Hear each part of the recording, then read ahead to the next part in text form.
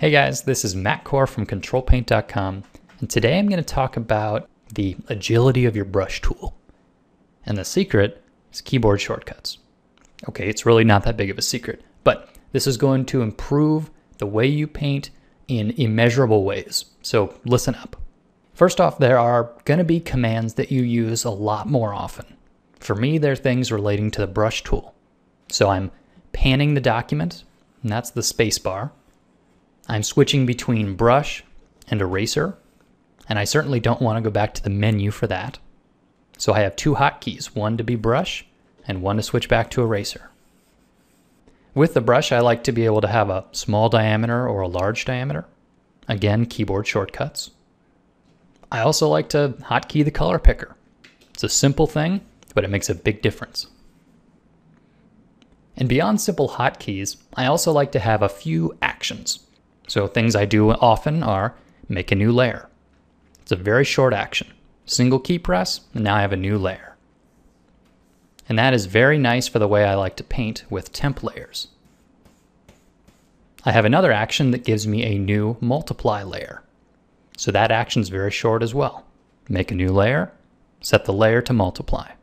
And this allows me to glaze. I also have a third button that is merge down. And I've actually set this to a single key press by using an action, but you could set it to a standard keyboard shortcut if you like. So I've got one shortcut to give me a new layer, and another one to merge that down onto my stack. And these might not be the exact keyboard shortcuts that you use all the time, but for me, these are the keys that I'm always using.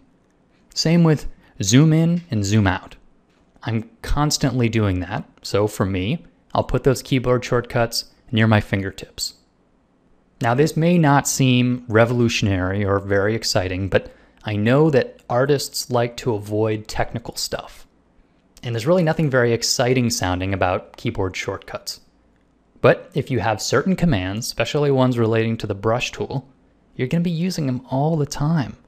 You might as well take some time, design a new keyboard layout, and this is going to involve remapping the keyboard shortcuts, and you can find that in the Edit Keyboard Shortcuts menu.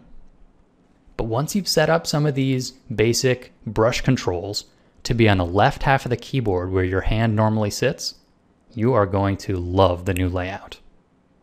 Now, this really doesn't have much to do with traditional art, but it is a surefire way to improve your painting. And it can be hard to explain exactly why this is, but something about removing the technical clutter and just focusing on the painting will really lighten the load and will make you a much better artist. So if you guys have any interesting layout of your own, let's hear about it in the comments. Thanks for watching and good luck painting.